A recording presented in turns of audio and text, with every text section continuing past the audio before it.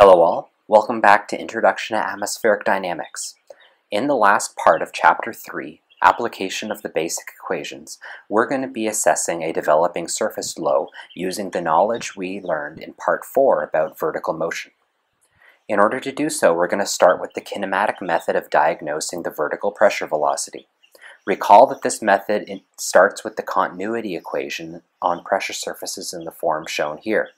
If we integrate both sides of this expression from a pressure level P prime to the top of the atmosphere, that is at P equals zero, we observe that using fundamental theorem of calculus, the left-hand side of this expression then allows us to write uh, the integral as omega at P prime minus omega at P0.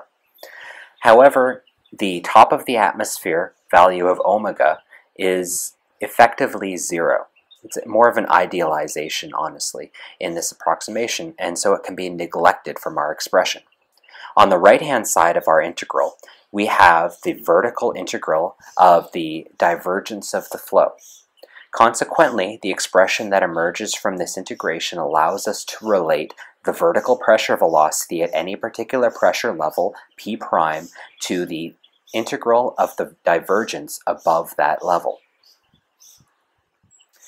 Now let's consider what happens if we take P prime to be the surface.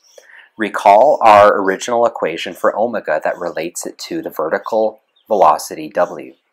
This expression includes three terms. The first term is the Eulerian change in pressure. The second term is advection of pressure by the ageostrophic wind. And the third term incorporates the vertical velocity. We had performed a scale analysis of the three terms in this expression using the scales associated with large-scale motion.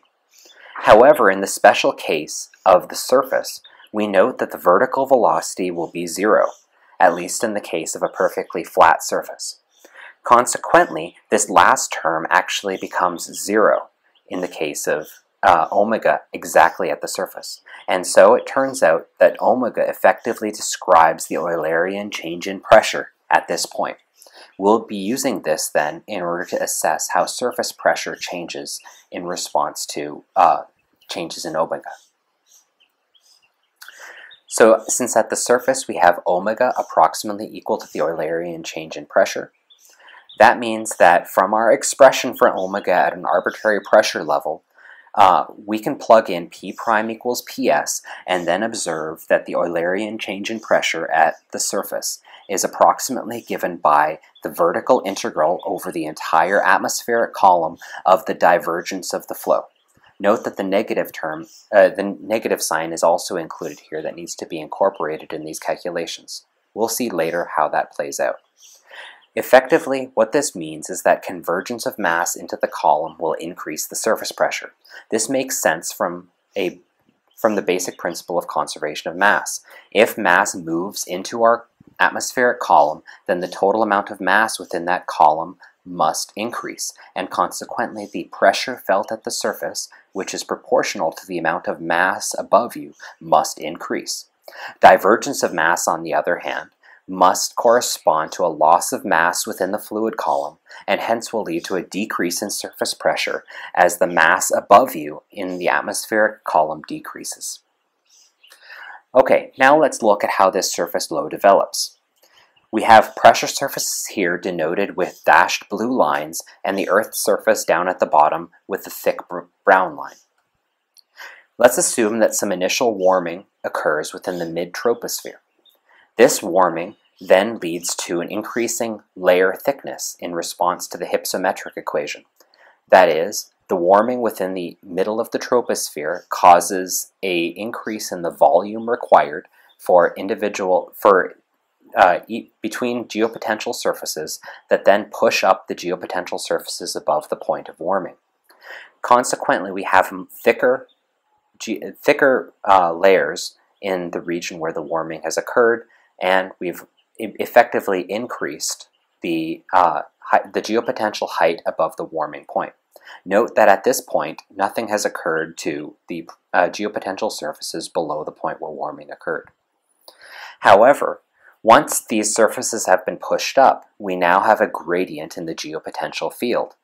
This gradient in the geopotential then causes the velocity to be induced above the point of warming and leads to divergence of mass in the atmospheric column. Namely, to the right of the warming, we must have that fluid parcels move to the right, and to the left of the warming, in correspondence with the slope of the geopotential surface, we have that fluid moves to the left. Consequently, we lose mass from the fluid column.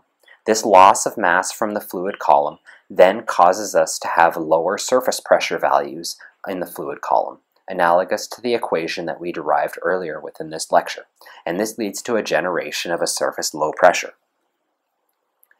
And in addition to the surface low pressure that forms immediately below the warming, we also have corresponding high pressure regions located to each side of the low. Along the surface then, along this constant height surface, we then have an induced pressure gradient which initiates convergence down here. So near the Earth's surface we have convergence of flow, and near the top of the atmosphere we have divergence of flow. As air is now being pumped into the fluid column from below due to converging motion, and pumped out of the fluid column above because of diverging motion, this then triggers rising motion through the interior of the fluid column, and hence completing our cycle.